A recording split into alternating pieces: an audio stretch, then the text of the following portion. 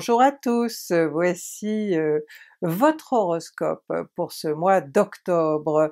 Je vous rappelle que euh, vous pouvez bien entendu nous trouver sur nos réseaux sociaux, euh, Twitter, Instagram, vous pouvez poser des questions sur Tipeee, mais vous pouvez aussi nous poser des questions à Zoé et à moi, ce sont des rendez-vous téléphoniques que vous pouvez prendre en nous envoyant un, mail à l'adresse qui s'affiche.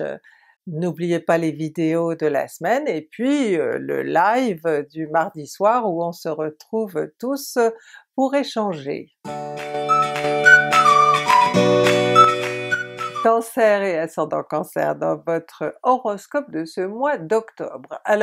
Le mois d'octobre il est toujours géré par la Balance, hein. elle commence le 23 septembre et elle se termine le 23 octobre, ou le 22 septembre cette année elle commence. Euh, bon bref, euh, c'est un des quatre euh, signes de la croix hein, qui construit votre thème, qui est la qui, sont des signes qui sont basiques hein, et qui construisent votre personnalité, et donc la Balance représente votre intimité, ce qui est toujours très important pour le Cancer, la famille, la maison, voilà tout ce qui est protection. Et vous aurez besoin de vous sentir euh, protégé en, ce mois d'octobre, et euh, peut-être aussi de protéger ceux que vous aimez parce que vous êtes d'une nature inquiète, hein, on le sait. Et peut-être que avec ce soleil en balance, euh, euh, qui à un moment ou à un autre va être en dissonance avec Saturne, ben vous serez plus inquiet que d'habitude et vous aurez euh, besoin qu'on vous rassure, qu'on vous prenne par l'épaule et qu'on vous dise mais non, ça va bien se passer, ne t'inquiète pas. En tout cas moi je vous le dis, ne vous inquiétez pas. Il est possible que vous ayez un choix un petit peu difficile à faire, hein? ça je, je, ne le nie pas, certains d'entre vous, donc avec l'opposition de Saturne, euh, sont face à une difficulté euh, relationnelle ou euh, professionnelle, et il faut faire un choix. Moi je pense qu'il faut laisser la vie faire ce choix, hein, à moins qu'on vous mette la pression, mais je pense pas qu'on vous mette la pression. C'est vraiment avec Saturne, on passe son temps à réfléchir, hein, et à tirer des plans sur la comète, à se dire si je fais ça, ça va donner ça. vous voyez, il y a un côté où, on s'intériorise énormément, et cette période Balance est une période qui est également une période d'intériorisation. Donc vous voyez, ce côté-là va être accentué et on verra plus loin que Mars va également être en dissonance avec Saturne, donc hein, euh, ça aura il y a un côté frein là. Hein. En ce qui concerne euh, Mercure, donc votre travail euh, quotidien, vos activités quotidiennes, elle va être en Scorpion, tout comme le soleil d'ailleurs le sera après le 23, et là c'est un signe en, harmonie avec vous, hein. donc ça va corriger un petit peu le côté balance, trop intériorisé, trop euh, polarisé sur ce besoin d'être protégé, euh, euh, ou de protéger les autres hein, aussi, un besoin qui peut être excessif, hein, et attention à ce que vos proches n'aient pas l'impression que vous les étouffez.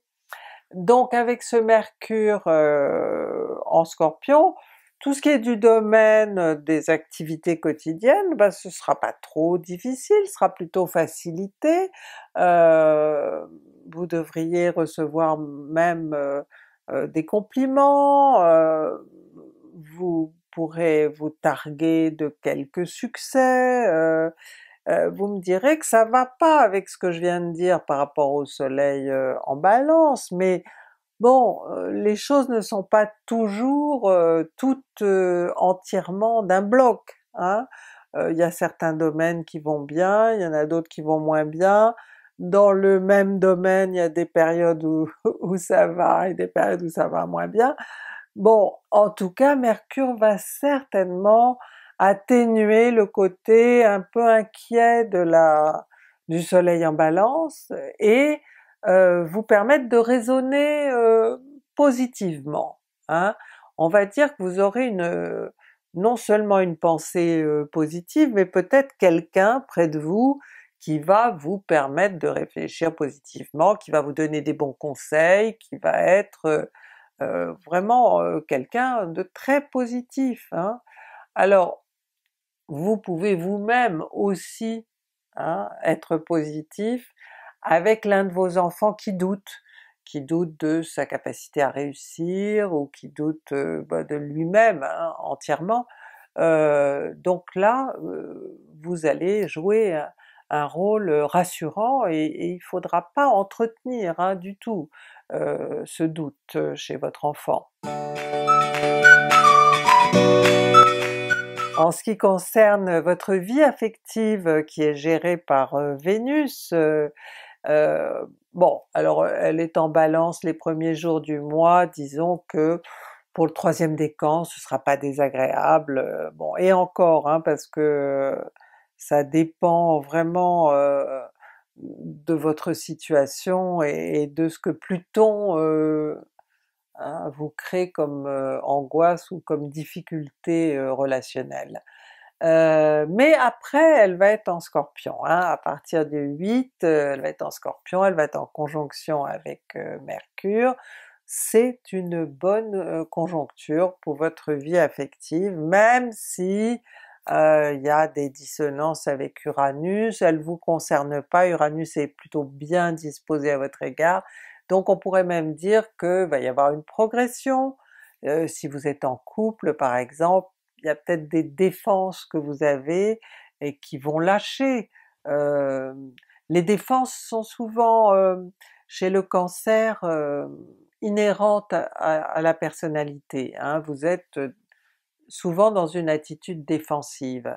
mais ces, ces, oppositions entre Vénus, Uranus, Mercure, Uranus, ça peut vous aider à faire sauter un excès de défense, il faut en garder hein, évidemment, mais vous en avez souvent de trop et ça vous rend un petit peu agressif avec ceux que vous aimez.